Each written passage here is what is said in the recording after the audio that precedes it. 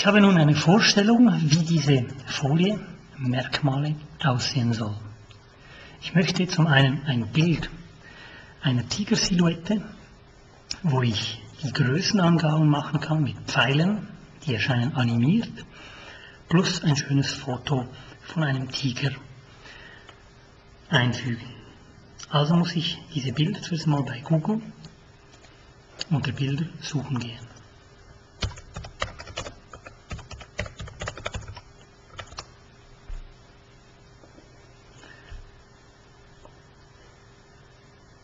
Glaube, diese Silhouette ist schon geeignet. Ich speichere sie in dieser Größe, denn größer lässt nur meine Präsentation anwachsen. Das möchte ich verhindern.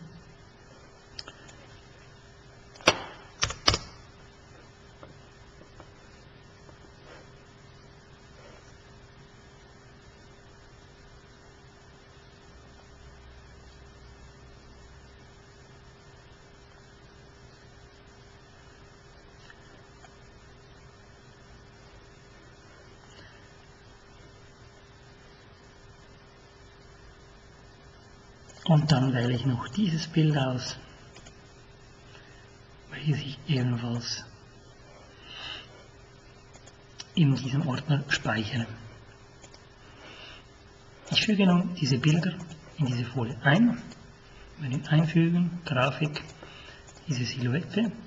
Ich habe jetzt da eine lästige weiße Farbe, die diesen Tiger umgibt. Das sieht nicht schön aus. Wenn ich, eine einheitliche, wenn ich eine einheitliche Farbe habe, die ich wegbekommen möchte, so kann ich im Kontextmenü, wenn ich das Bild anklicke, Kontextmenü, rechts außen, Bildtools, das einfärben, das zwar ganz unten, kann ich eine transparente, transparente Farbe bestimmen. Diese soll weiß sein und schon ist diese weiße Farbe weg. Dann brauche ich noch ein weiteres Bild welches ich einfügen möchte. Auch da das gleiche Problem. Erstens einmal, diese Farbe möchte ich wegbekommen. Zweitens ist das Bild zu groß. Drittens ist die Orientierung falsch, also werde ich das nicht vertikal, sondern horizontal kippen und den Tiger von rechts nach links erscheinen lassen. Was brauche ich sonst noch? Ich möchte Pfeile hineinzeichnen. Pfeile, die mir zeigen, welche Masse ich jetzt da gerade angebe. Dazu gehe ich zum Menü Einfügen. Ich kann auch Menü Start, ich habe diese Pfeile auch hier. Und das war ein Doppelpfeil von hier nach hier. Ich formatiere diesen Pfeil er ist aktiv, die Aktivpunkte sind ersichtlich. Dieser Pfeil heißt eigentlich nicht Pfeil, sondern es ist eine Form. Die Formkontur, die möchte ich auffallend rot und die Stärke, die soll viel, viel dicker sein, damit man diesen Pfeil auch wirklich von weit her erkennen kann.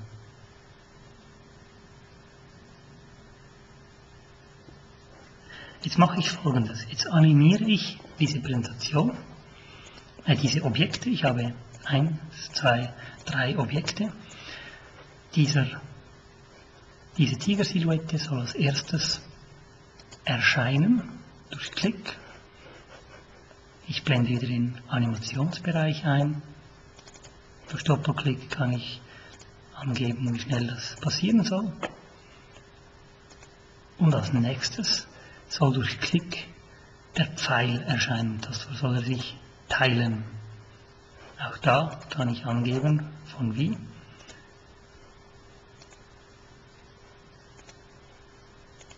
Vertikal austeilen.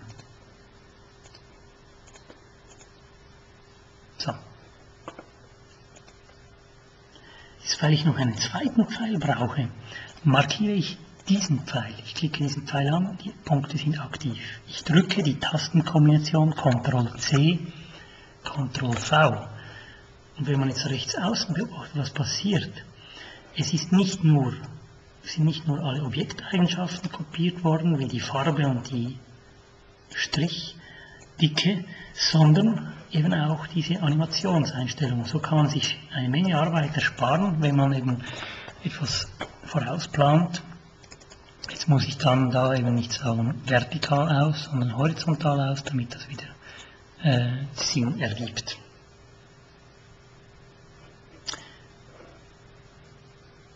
Dieser Tiger soll hineinfliegen, natürlich nicht von unten, sondern etwas langsamer von rechts her. Ich zeige mal, wie diese Präsentation oder diese Folie an dieser Stelle aussieht. Also ich bin bei der Folie 3, ich starte von hier weg die Bildschirmpräsentation. Ich habe nichts auf der Folie. Wenn ich klicke, kommt die Silhouette. Ich kann dann dem Publikum erzählen, wie lang die Rumpflänge ist des Tigers und wie groß die Widerristhöhe ist vom Tiger.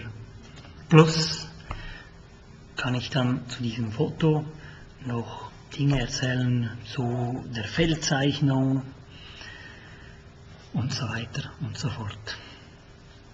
Mit ESC verlasse ich wieder diese Präsentation und ich könnte jetzt da noch etwas weiteres einfügen, zum Beispiel das, was ich dem Publikum erzähle, kann ich auch noch als Text erscheinen lassen. Warum nicht auch hier in einer roten Schrift? Nicht vergessen, wir haben Andi als Schrift gewählt.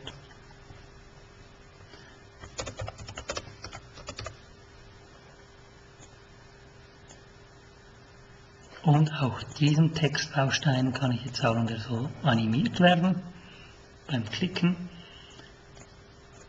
Und weil ich noch einen zweiten brauche,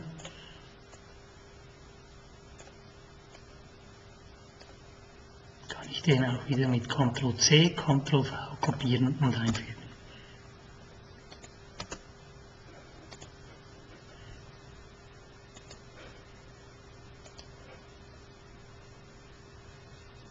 So sieht das dann aus.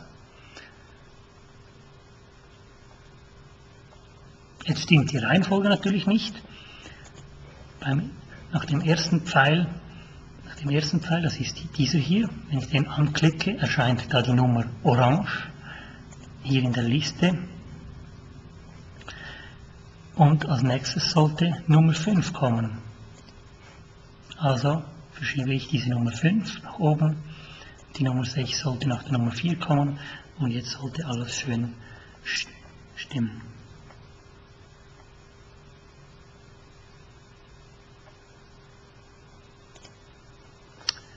Wunderbar.